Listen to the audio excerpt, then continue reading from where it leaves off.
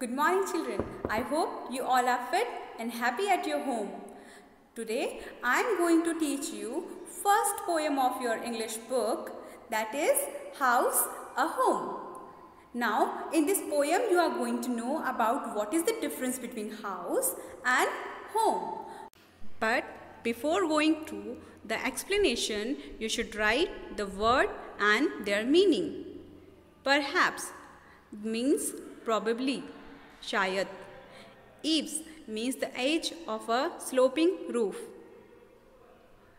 Stucco means decorating plaster, जिसका Hindi meaning होता है सजावटी plaster you all can write down it in your notebook children a house a home there is a difference between house and home what is a house house क्या होता है? हम इस poem में समझेंगे। It's brick and stone and wood that's hard some window glasses and perhaps a yard it it's eaves and chimneys and tile floors and stuccos and roof and lots of doors so a house is a particular a building और a structure एक house जो है, वो particular building होता है structure होता है, जो कि ब्रिक्स ईंटों से बना होता है स्टोन पत्थरों से बना होता है, जिसमें विंडो ग्लासेस होती हैं इट मीन्स कांच की खिड़कियाँ होती हैं, कुछ दरवाजे होते हैं यार्ड्स होते हैं यार्ड्स मीन आँगन, और इन सब चीज़ों से मिलके हाउस बना होता है, ठीक है?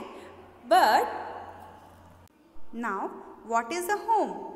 It is a lovely loving sorry it's loving and family and doing for others. It's brother and sister and fathers and mothers.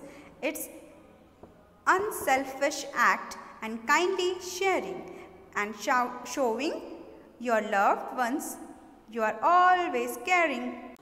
Now kids house consists of building that we are talking about building house में हम सिर्फ़ और सिर्फ़ building के बारे में बात करते हैं। लेकिन होम होम क्या होता है? जिसमें brother sister mother father all the family members lives together जिसमें कि सभी लोग साथ में रहते हैं। पर कैसे? एक दूसरे की केयर करते हुए लव करते हुए।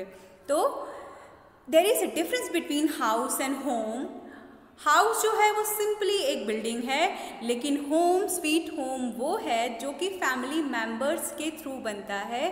फैमिली मेंबर्स के प्यार के बदौलत बनता है उनकी केयर उनके अनसेल्फिशनेस एक्ट की वजह से बनता है। So there is a difference between house and home I hope you all have understood this Now kids, there is exercise number one. Do you agree with what the poet says? Talk to your partner and complete these sentences. First one A house is made of brick, stone, and hardwood. Second one It has glass windows, a yard, eaves, chimneys, tiled floors, roofs, etc. Third one A home is made by a loving family. Fourth one, it has brothers and sisters and mother, sorry, and fathers and mothers. Okay, so I hope this exercise and this poem is clear to you all. Now this second one you have to do in homework. अब इसमें आपको करना क्या है Now complete this sentence about your house and home आपको अपने house और home के बारे में लिखना है। My house is made up of what आप अपने हाउस के बारे में डिस्क्राइब कर सकते हो। और the best thing about my home is आपको अपने घर के बारे में सबसे अच्छी चीज़ क्या लगती है? तो सोचिए और लिखिए।